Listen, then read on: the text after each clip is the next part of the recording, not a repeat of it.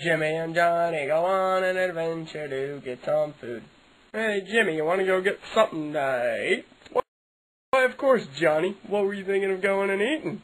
I don't know, Jimmy. I think we were just going to drive around in our car for about two hours looking at billboards for a while. How's that sound? Sounds good, Johnny. Let's go. Like a boss. Hey, Jimmy, look at that billboard over there. How's that look? I can't see it, Johnny. Drive a little closer. Let's get a closer look, Johnny. Hungry hamburglar. Come and eat our burgers and have some fun. Oh, dang it, Johnny. That's such a bummer. We got a closed down restaurant. Let's go ask the manager when he'll be ready.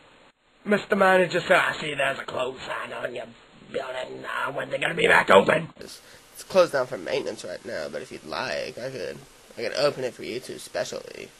But otherwise, it'll be back in about two weeks, so come back by then, please. Alright, sounds good. Jimmy, let's go home. We'll be back in two weeks, sir. Two weeks later. Welcome back, boys. I'm glad you came back. Let me just let you have a seat over here at our finest table. A waitress will be with you shortly. Welcome to Hamburglar's Hamburgers. May I take your order? Isaiah, may I have a word with you? What? Isaiah, look, we don't have that many customers, and the one we do, you need to treat them with more respect. So whether you do or girl, you are fired. Oh, oh, oh, oh, yep, yes, sir. Oh, oh, I'll make sure to do that. Thank you, sir. I'm sorry about that. My manager's had to have a quick word with me. How may I help you two tonight? Um, I think I'll have some chicken. What do you want, Jimmy? I think I'll have a grilled cheese. Alright, sounds good. I'll be right out with that. Hey, yo, Sanchez! We need a number two and a number nine out on table seven ASAP. Hurry it up. Manager's watching.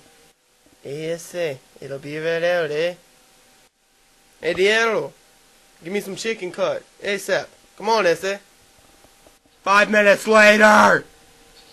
Let me just add the secret ingredient, eh? Sanchez, I saw that. May I have a word with you? Look, Sanchez, you just spit in the customer's food. Now, either you fix him another meal, or you are out that door. Because I cannot have my customers suing or complaining that their food has spit in it.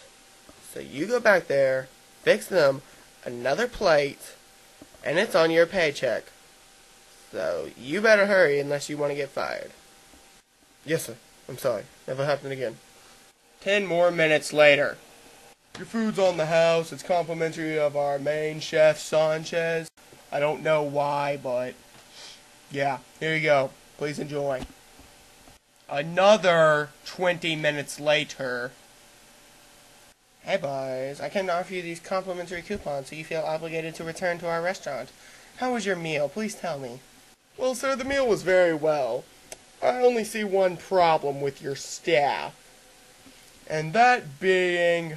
We weren't waited well enough. They didn't come visit us after my drink has been empty for ten minutes and Johnny needed ketchup. I'm sorry. Isaiah, he, he's a troublemaker. Next time I will assure you, we will have a whole new wait staff. And they will wait you fine. They will visit you very frequently. And I'm just, I'm so sorry, sirs. But please do visit again. Thank you. The end.